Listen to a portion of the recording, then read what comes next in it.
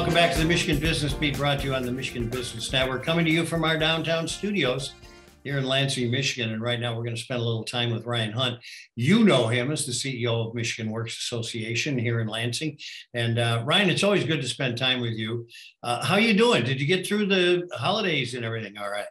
We got through the holidays okay. Santa Claus showed up at our house, so our four-year-old daughter was extremely thrilled. We had a, a wonderful time. Uh, didn't do a whole lot, just a lot of rest and relaxation watched a ton of football, and uh, we're back at it now in January. That sounds almost like a perfect vacation. Absolutely.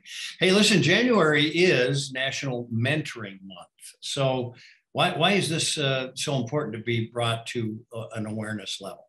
Sure. Well, I, I can't think of a better way to kick off the new year than to focus on National Mentoring Month. This is an annual campaign that's aimed at expanding quality mentoring opportunities to help connect individuals in your community with caring individuals who are also looking to provide value and ensure that they're uh, providing the right guidance, the right resources to help individuals make uh, great career choices, uh, engage in school, or reduce any type of risky behavior that they uh, they may otherwise be inclined um, to conduct. What we've seen through research over the years, Chris, is that young people who are involved in mentorship programs are 55% more likely to be enrolled in college they're also 81% more likely to participate in extracurricular activities and also 78% more likely to regularly volunteer in their communities. So, what we're also seeing, though, unfortunately, is that uh, one in three young people in our country will grow up without a mentor, which is why we're putting the focus this month on National Mentoring Month, just so we can continue to focus and expand those mentorship opportunities for individuals uh, who otherwise don't have access to a quality mentor. You know, it's kind of interesting because when you spewing out those statistics, I thought that one about extracurricular involvement that plays really highly uh, on the list of priorities for employers who Absolutely. are hiring. You know, Absolutely, yeah.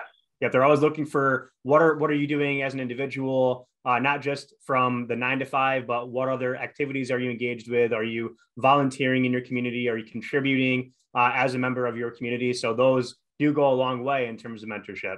That's the personality we're all looking for.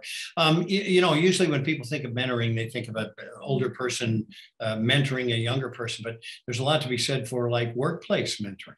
Absolutely. I really can't think of a better way, especially right now, uh, as the country across many industries continues to try and address this labor shortage problem. Sometimes it's those little tweaks and little fixes that a company can make that can really enhance the employee experience. So if businesses are looking for ways to retain their best people, oftentimes a, a, a mentorship program can be a great way to do so. Uh, just uh, some additional data that we can throw at you today, Chris. What we're seeing across the country is that for employers who do have mentorship opportunities, 94% of their employees are saying that they would stay at a company longer if they were offered opportunities to learn and grow through a mentorship program. Uh, two out of three businesses also report an increase in productivity due to mentoring. And more than seven out of 10 people with a mentor say that their company provides them with good career opportunities to help advance their careers, compared with just 47% of those individuals who do not have a mentor. So, mentoring in the workplace really is beneficial to all involved, both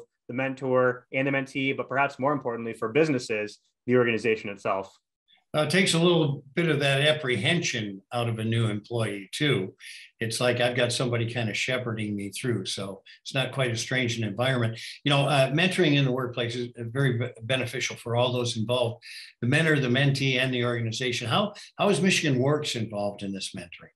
Sure. So uh, mentoring is one of the many services that the Michigan Works organizations across the state offer. Our frontline staff at each of the 16 Michigan Works uh, agencies statewide, uh, they work day in and day out with job seekers who may be facing a wide variety of barriers. So they can help connect those individuals with community partners to help assist those job seekers achieve their career goals. And sometimes that's uh, a simple matter of reaching out to help find uh, accessible and affordable childcare for individuals, maybe help with addiction services or assistance with transportation and housing, just to name a few. So th- through that process, the Michigan Work staff oftentimes do act as mentors to job seekers right there in their own community who are looking for just some additional assistance to stay on the right career path.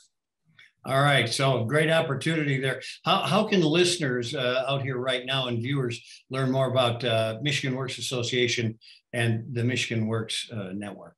Right. And not just within the Michigan Works Network, but broadly speaking, especially in a place like Michigan, we have thousands upon thousands of people who are looking for ways to help one another uh, on a daily basis. So the Michigan Community Service Commission and Mentor Michigan both support more than 250 mentoring organizations across the state. Those organizations can help match adults with young people who are in need of role models. If you're interested in becoming a mentor, I would encourage you to visit the National Mentor website at mentoring.org. Uh, mentor is a national organization that's working to expand the quality and quantity of youth mentoring relationships nationwide on their website, again, mentoring.org. You can learn more about the role that mentoring plays in your community, and you can also find volunteer opportunities right there in your own backyard. You know, it's it's really interesting because the education system is teaching these kids about the value of mentoring. When they come out of college, the first thing they do is look for a mentor. So it, it's you know the, the the the the information is out there, and people know it's a, it's a big part of this thing. So I want to thank you for uh, you know, having the Michigan Works Association jump on board with this. Of course. All right, buddy. Good to talk to you. Always is. Ryan Hundt, of course, the CEO of the Michigan Works Association, headquartered right here in Lansing, Michigan. And as always, keep up the good work, Ryan. We need you. Thank you, Chris. Really appreciate it. We'll talk to you next month. You certainly will. All right. This is Chris Holman, and you're watching the Michigan Business Beat on the Michigan Business Network. Stick around. We'll be back.